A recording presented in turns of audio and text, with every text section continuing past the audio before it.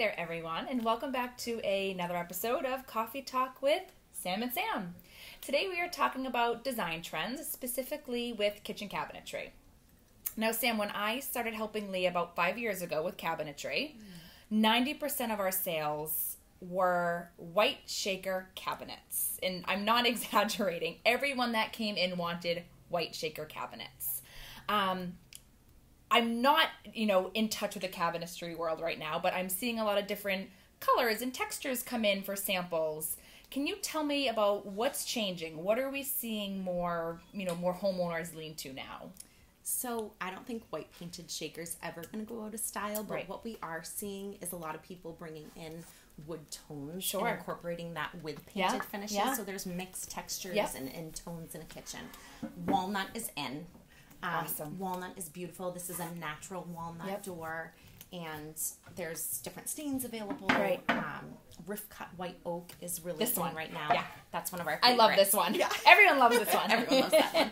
Um, so we're seeing people opt for like a wood island or wood floating shelves. We're seeing a lot of open shelving, Yeah. in fact. Yeah. And um, yeah, it's fun to just kind of like mix up that painted finish with Sure. some some wood tones, and it brings a sense of warmth into the space Right. too. Right. So we're That's seeing really fun. yeah, it is. And we're seeing a lot of uh, slab style doors. Yeah. So this is an example of a slab style door Yep. in green, which is a very popular Yeah. color. Greens and blues. Greens and blues. Very true. um, but the slab is great. It lends itself to a nice modern look. Very modern. I love it. I love it. And I love the matte finish on that. I Yes. love that just yeah. It's a nice Something clean about look. Um, we can have some fun things with right. slabs. opposite too. of matte finish. Yeah. So- this is a shiny one. Yep, this is a laminate style door. Okay. And with laminate, you can get the high gloss. Sure. You can get matte. Sure. Um, a lot of options for Yeah. different textures. Are people as, are people doing one more than the other right now? Um, well, I would say painted finishes are going to be like Sure. the most Yeah. prevalent in Yeah. space. Those are always timeless. Like yeah, painted Um, finish. But it's fun. I mean, some for clients that really want that Yeah. modern look, a lot of people are choosing like that, laminates yeah. and slabs, and it's so easy to care for too. Right. Yeah, so that's fun. Um, we're seeing a little bit of a shift in hardware, Sam, which Okay. Mm-hmm. has been funny too. Uh, we're getting away from like the traditional polished chromes, brushed satin nickels, and we're seeing more flat blacks. Sure. And we're seeing um, the satin brass. I love the satin brass. The satin brass is fun. It's really fun. That's our it- faucet behind us. Is the satin brass. yeah, and it works good on like the Yeah. the bright painted. Which is funny because polished brass seems so traditional to me, but it's like throw a satin finish on it and it's Yeah. new and contemporary. so true. So true. That's awesome. Yeah. And so we're seeing shifts in, in textures and textiles and color. We're seeing a shift in hardware. Are we seeing a shift in countertops? Because quartz was the name of the game Yep. for a long time. People loved quartz because it couldn't mimic marble, it couldn't mimic Yeah. granite. Um, but I'm hearing a lot of talk about natural stone. So why are we talking more about natural stone now than we did five years ago? So natural stone is definitely coming back, and we've seen it a lot with our clients. Um, people are moving towards quartzite. Sure. I mean, granite is kind of the king of all kings Yeah, for countertops, yeah. but a lot of people are choosing like option. a honed finish, uh, Which is like kind of equivalent in my mind to like a matte finish. It's true. Yep. Um, soapstone is Yep. big, and sometimes it's just special to have like a unique stone in your space. Right.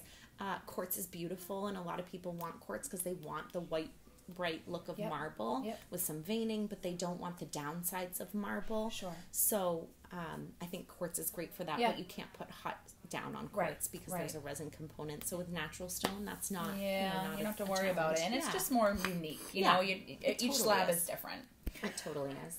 And what about spaces? So when we're designing kitchens, your space is your space, right? Mm-hmm. There, there's only so many layouts or designs we can do. Yeah. Are there trends that we're seeing that are changing as far as the function and how people are using and designing their space? Yeah, so I think um, mostly we're seeing a lot of large islands. Yeah, people really fun. want to max out that island Yeah. space. Some people are actually opting not to have like a traditional dining seating area, Yep. and they're just going with a large Sure. island that can accommodate their Right. family, which is great. And it serves as both, right? So like large island, Yeah. more storage, and then you're getting seating, which is closer to cooking, Yeah. kitchen, more communal, Yep. and you're getting more space in your home because you're not worrying about a dining room set in the dining room next door. You can use it for different different things. Yeah, that's exactly right. I And like then- that. Yeah, yeah, talking Yeah. about like maxing out the space, accessories. Right. Yeah, there's a lot of options with accessories now, and it really allows you to optimize, especially like a small space. A small space. It's But huge. really, yeah, in all spaces, we're seeing a lot of our clients want to kind of max out accessories. Mm. Yeah, stay organized yeah, and yeah, and it's it's a great way to do that. Yeah, yeah. Well, I think one thing that rings true is that with all these changes in colors and wood and texture lends itself to be a little overwhelming. Yes, I think especially for homeowners there's this vision and there's a lot of visions, right? You know, we love this color, we love this wood, we love this texture and we, and we want to kind of have it all, but you know, you kind of need someone to kind of level your head. And I think our designers do a really good job of kind of weeding through all the options and figuring out what's the wish list. Yep. What are the needs? What are the wants? What's the long term goal? Are you selling in two years? Is this your forever home? Uh, so I think it's important for people to know that although there is many options and it can be overwhelming, our designers do a really great job of working with you, your family, your contractor to figure out what your needs are and what's really important to you to really, you know, define your space. So I think, you know, the first step for anybody considering renovating their kitchen is just giving us a call or coming into the showroom. There's no better place to kind of figure out what's out there than Yeah. coming here and feeling and, and touching, you know, our samples. Um, is there anything else you want to add to that, Sam? Or no, I think this is great. I was so excited to talk about this. yeah, today. yeah. Talking about trends, especially colors, is always fun. So Yeah. yeah, happy to do it. Thank. Well, thanks everyone for joining us for another episode of Coffee Talk with Sam and Sam. Cheers. Thank you.